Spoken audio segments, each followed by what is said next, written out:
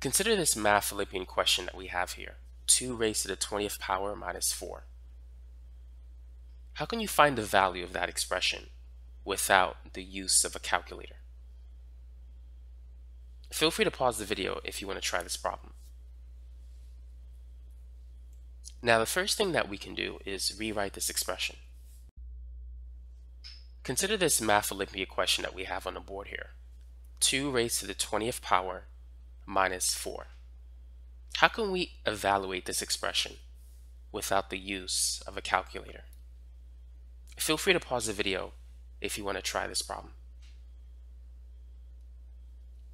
Now, one of the first things we need to do is we need to adjust that expression 2 raised to the 20th power.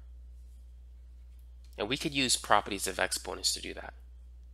a raised to the m raised to the n is a to the m times n. So whenever you raise one exponent to another exponent, you need to multiply the two exponents. But we're going to go backwards. So starting with a to the 20th power, we can write that as a to the 10th raised to the second power because 10 times 2 is 20. Well, instead of base a, we have base 2. So we're going to rewrite 2 to the 20th power as 2 to the 10th power raised to the second power.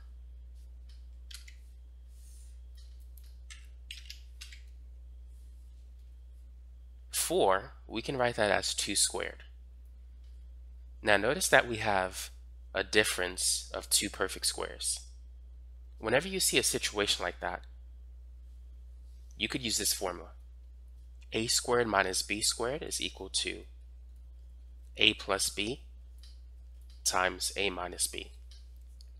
In this example, a is 2 to the 10,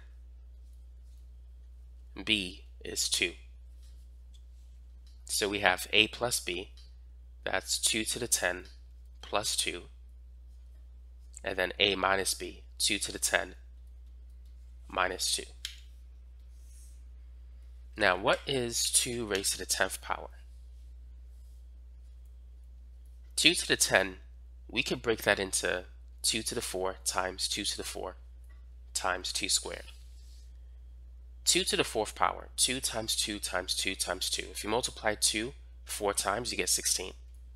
So we have 16 times 16, and 2 squared is 4, but I'm going to write that as 2 times 2. 16 times 16 is 256. If you double 256, 250 plus 250, that's 500. 6 plus 6 is 12.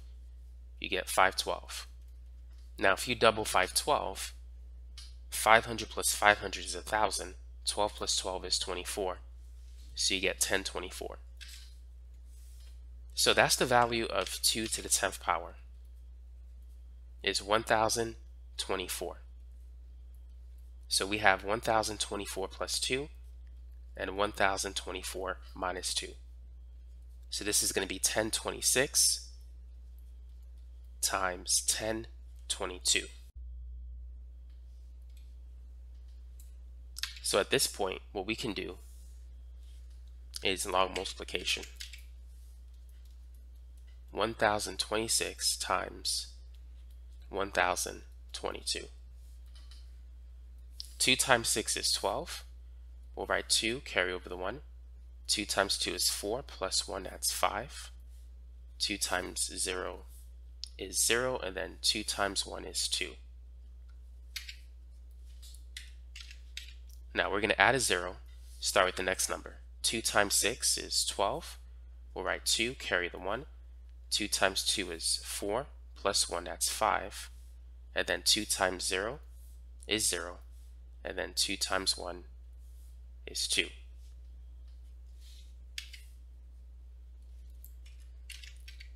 For the third row, we're going to add two zeros and move on to the next digit.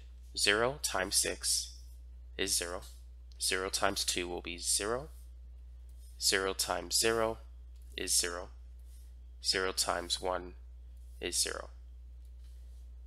Now for the last row, we're going to add three zeros, and we're going to start with the next digit. So 1 times 6 is 6.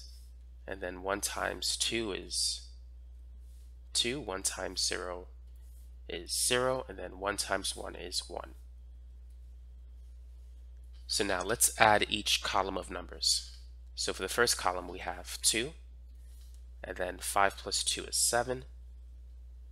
Next one is 5, 2 plus 6 is 8, 2 plus 2 is 4, and then this is what we end up with.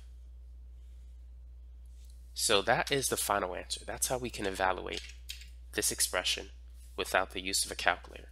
So it's 1,048,572. So that's the value of 2 to the 20th power minus 4.